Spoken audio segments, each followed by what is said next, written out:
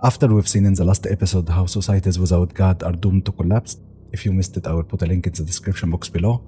Now we need to talk about the magic pill. The magic pill that fixed all the issues in the Arab society and turned those people from the worst group of people into the best people that walked on earth. This magic pill is what we call the Sharia law.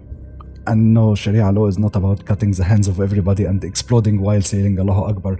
Sharia law is so big, we're gonna dedicate a number of episodes to talk about every part of it and to see how this part made the society much better than before. This is part number one Tawheed. We're gonna understand what is Tawheed. As we all know, the Arabs were a polytheist society. By now, we already understand the concept of God in polytheism weak, limited gods. And more importantly, gods that can be bribed. What does that mean? It means that I can be a corrupt businessman. I am giving bribes, I'm cheating on people, I'm selling knockoff products, I'm conning people into buying my goods, I'm trying to make people addicted to my product so I can gain more money. I don't care about their health or their well being. And in the end, after I become so rich, I can go to the temple or to the gods and bribe them with some money so I can make sure that God is happy with me. And He can give me more riches and I can make sure that I have my salvation. Whether you call this bribe a sacrifice to the temple, or tithing, or indulgent parchments, or a donation to the church, call it whatever you want, God can be bribed. And there are people who are willing to accept this bribe on behalf of God and to sell you God services like forgiveness. In the end, voila, you are a corrupt person and you have salvation, and righteousness is not that important. So, religion is not what is dictating society. Religion is not what is telling us what is correct and what's not. But we can get that from man made laws. And to be fair, man made laws can be good to an extent. Man made laws can reduce the crime rate, especially like bank robberies, like murder, and stuff like that, big stuff. But man made laws can only go so far. For example, lawyers can find loopholes in the laws. Businesses can avoid paying tax by doing some, you know, accounting tricks you can go to a doctor and this doctor recommends that you do a blood test or a scan that you don't need but you know what? He's taking commission. Or he can suggest a specific medicine for you not because it is the best medicine but because the pharmaceutical companies is giving him a lot of benefits. And it's legal. Employees can stay on social media all day claiming that they're working and in the end they take salary. And if they're not caught it's okay you can visit a car mechanic for an issue, he will fix this issue while making a problem in another part of your car. So after one month it will break, you will go back to him for another new issue. Businesses can make you addicted to their product, or they can make fake claims, like for example, this product is made from fruits, while it is 99% sugar water and 1% fruit, but they didn't technically lie. It has 1% fruit on it, so it is made from fruit. Or they can say this hair product has a secret recipe that will fix all of your hair problems, while in reality it has nothing. Or they can say our toothpaste is recommended by 9 out of every 10 dentists. A scientific study, which we all know is fake news. People can and will be toxic to each other. People can hurt you so deeply with just their words, and technically, they didn't assault you physically, so they didn't break the law. Government officials can and are taking bribes whether it is a hidden bribe, illegal, but you know, no one knows, or it is a legal bribe in front of everyone, and you know what? You can't do anything about it. An artist can make music video clips that is all about pornography and drugs and alcohol and violence and present this video clip to children. He doesn't really care about ruining the morality of a whole new generation as long as he's getting richer. And you know what? It is legal. Businesses can objectify women and use their bodies to sell their products. Why shouldn't we use a woman's body to sell cars? Why shouldn't we use a woman's body to sell burgers? You know what? Just stick a picture of a woman's body on any product and it is legal. Who cares about the consequences? This list can go on for hours, and you know what? This is not the point of the video. The point is, man made laws can help the society a little bit, but it can't fix the hearts and it can't produce a safe happy society ever. But La ilaha illallah can. Only the belief in an all powerful, all knowing God can produce people who actually care about each other. People who are trustworthy. A trustworthy doctor, a trustworthy car mechanic, trustworthy employees, trustworthy government. This cannot be achieved with man made laws or with the best police system in the universe.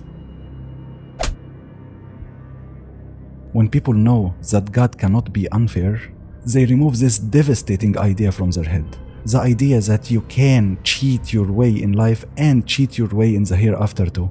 The idea that you can have salvation without working for it. Think about that. On one side, you have one man who is following God's rules as much as he can, abstaining from sin, doing good deeds, giving charity, helping others, trying as much as he can to be a good person. And on the other side, you have a guy who is living in sin day and night, not caring about others, drunk all the time, moving from one girl to another, breaking their hearts, cheating his way in business, getting money that he doesn't deserve, and in the end buying salvation by throwing some money to the temple or by claiming that someone else died for his sins? Do you think it's fair that both of them have salvation in the end? Or is it clear that that's a scam? They always say if it's good to be true, then most probably it is.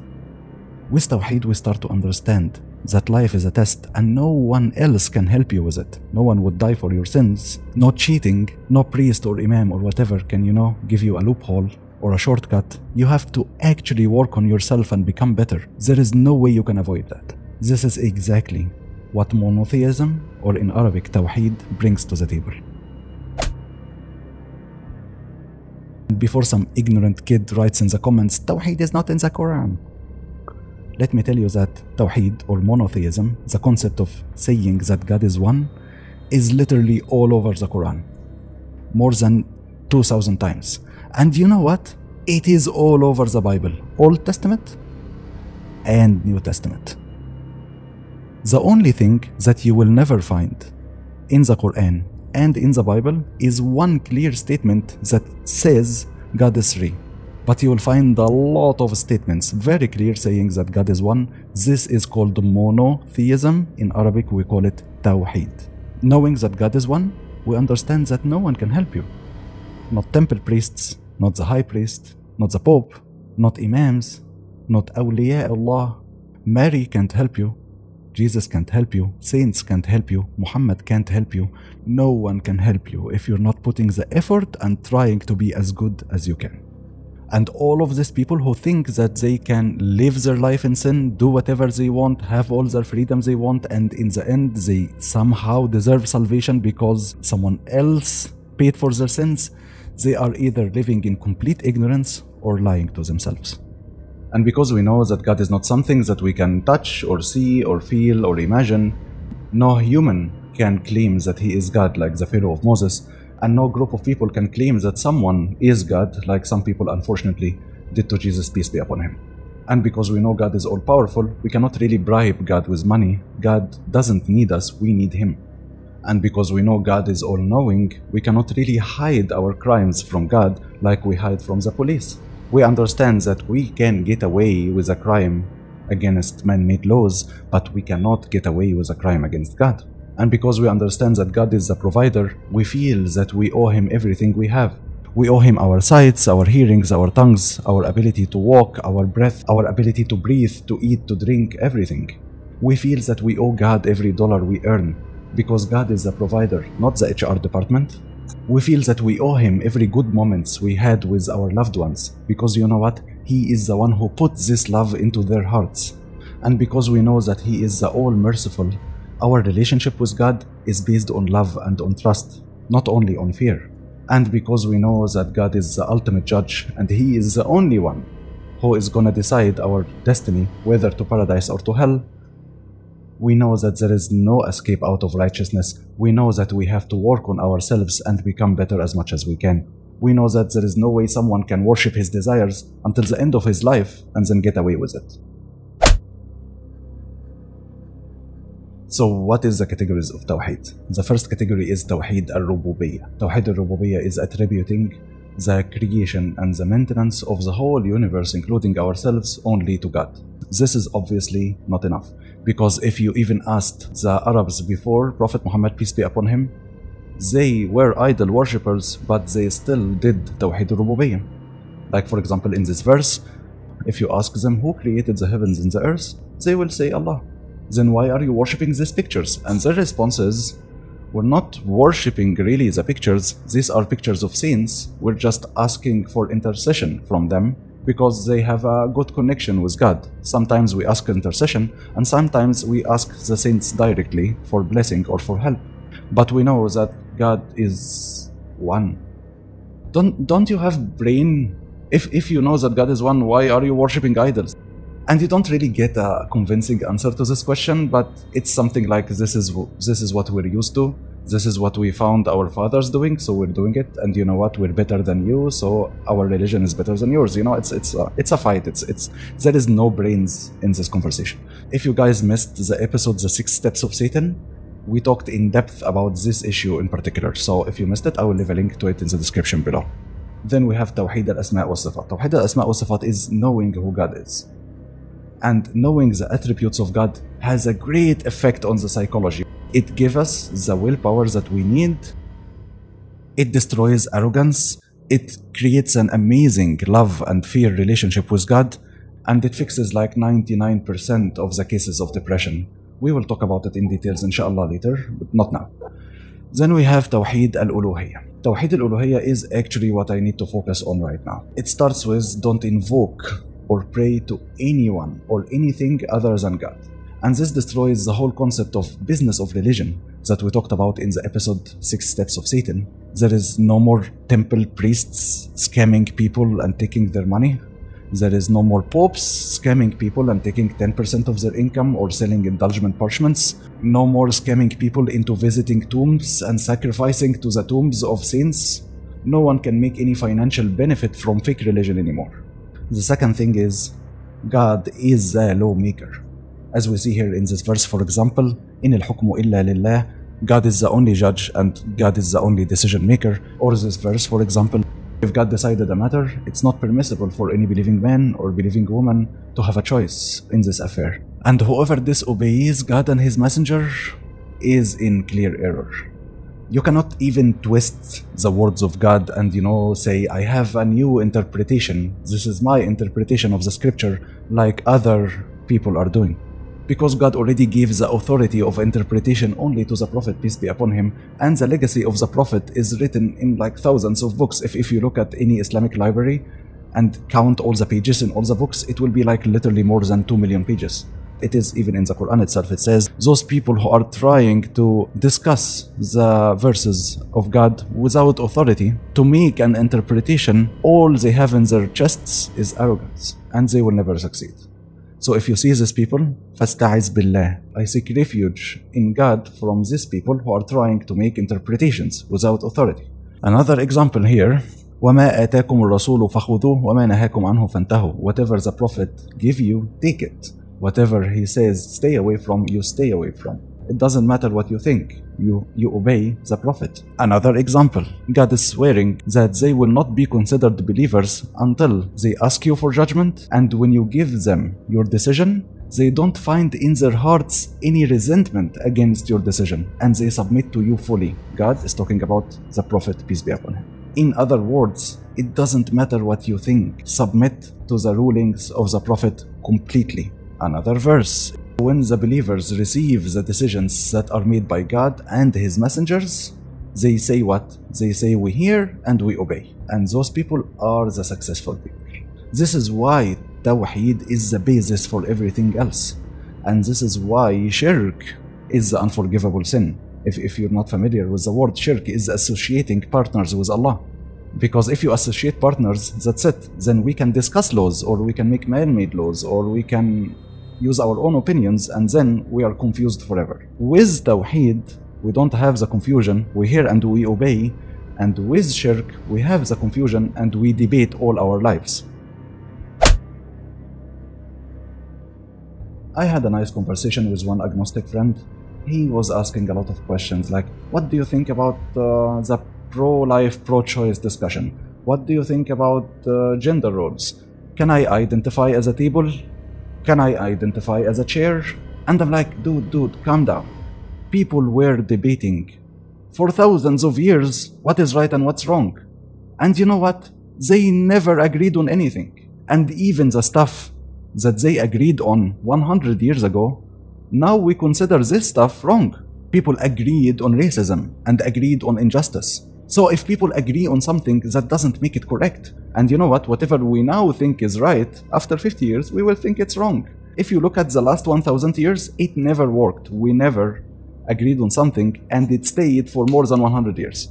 It's always changing. And I told him, you know what? Even if you are a wise man and you're educating yourself and you kept doing that for like 10, 20, 30 years, and after that you reached complete wisdom and you know what is right and what is wrong, First of all, you wasted your life. Second of all, when you preach your understanding of what is right and what's wrong to the world, they will not accept you. You will not convince them. And even if you convince some of them, it will be like, what, 50%? What about the other 50%?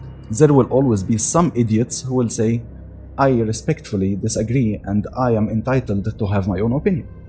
If you try to convince 100% of people that stealing is wrong, you cannot there will be a very small minority that thinks that why why not? You know, it is just nature. Strong animals are eating weak animals, so why can't strong men eat or steal from or torture? I I don't want to go into this, but the point is what? The point is you will never convince using debates and arguments 100% of the people. Even if you convince 99% of them, and 1% of the society are robbers or rapists or whatever, that is enough to keep everyone afraid in his house. Convincing is not the way to go. And this is the beauty of Tawheed. We say that God is the king, God is the ruler, God is all wise, God is all powerful, God is the only one who gives us decisions. So we hear and we obey. What if I'm not convinced? Obey first, ask later. So if you don't think that stealing is bad, don't steal first because God said so, and then ask later what is the wisdom behind this decision. If you're not convinced that racism is bad, don't be racist. First, we hear and we obey, and then ask why later. This is the only way you can make sure that you have a safe, happy society now, not after 1000 years. We become righteous first, and then we ask why later pretend you bought um, industrial machine from like a German company, right? And this machine has a manual, 100 pages manual, and this manual is like, this is how you put the machine on, this is how you put it off, this is how you change batteries. Uh, after 10 hours of working, you have to let it cool down. It has all the instructions. And you're like, nah, I don't want to read the manual. I will guess and we will debate and we will discuss and we will do philosophy. Read the manual of the manufacturer the creator sent you a manual. Why are you confused? Just read it. We have our manual. It's called the Quran. This is the manual of humans from the creator of humans. So if you really, really are looking for what's right and what's wrong, instead of wasting 1000 years on debates that will end in nothing because we already tried, how about research is this manual, the Quran, really the words of God or not? And you know what? It will be very easy. You will find the truth. It wouldn't even take you one month of research to find the truth. Tawheed is what paves the way to worship. And in the next episode, we're gonna talk about what is worship according to Islam. So subscribe and hit the bell icon so you won't miss it. It will be inshallah in three or four days maximum. And Muslims, brothers and sisters, if you wanna help spread the words of God and help our Dawah project, engage with the video with likes, shares, and comments so the YouTube algorithm will recommend it to other people. And if you want to support us financially, we will leave donation links under the video. Thanks and see you in the next episode. Assalamu alaikum.